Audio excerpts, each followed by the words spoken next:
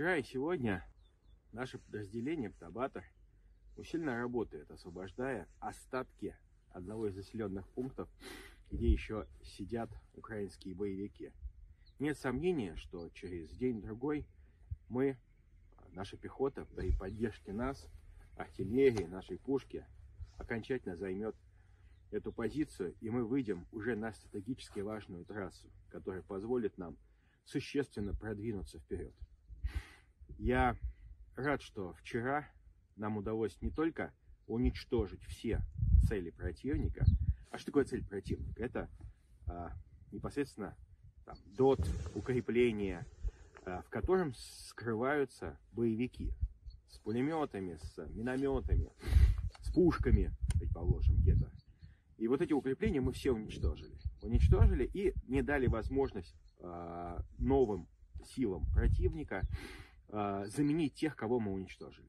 Мы уничтожили как силы противника основные, так и вспомогательные, те, кто пришел на помощь. Это хорошо. Это радостно. Почему? Потому что мы знаем, что наши парни, наши пехотинцы, которые заходили на эти позиции, уже могли это делать относительно, относительно спокойно. И я искренне считаю, что а, в ближайшее время а, мы готовы к серьезному дальнейшему продвижению вперед. Потому что весна впереди. А весна это для русского человека всегда время, время хорошего а, восстановления сил и время, когда мы можем идти сокрушать зубы врага.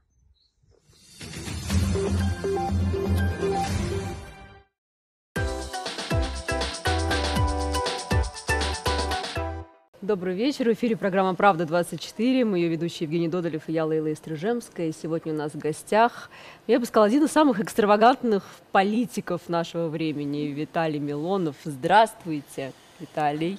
Здравствуйте. Экстравагантный – это такой аванс очень, э, очень ответственный. Экстравагантный ты можешь быть как в хорошую сторону, так и в сумасшедшую. Поэтому здесь... А вы да. сами себя в какую сторону считаете, я? Живой. Ж, народный и живой, да. Есть люди типа жив и люди типа помер. Вы своего питерского поэта пытаетесь нам как-то здесь 2.12.85.06? Нет, конечно.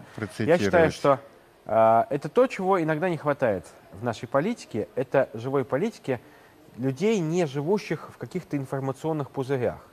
Людей, не живущих в какой-то какой стерилизованной атмосфере. Когда люди могут сочетать э, то, что происходит на самом деле, среди людей, там, на улицах, в ларьке, в магазине, там, в кафе «Шаверма» и то, что происходит в, верх, ну, в верхних эшелонах власти, в парламенте.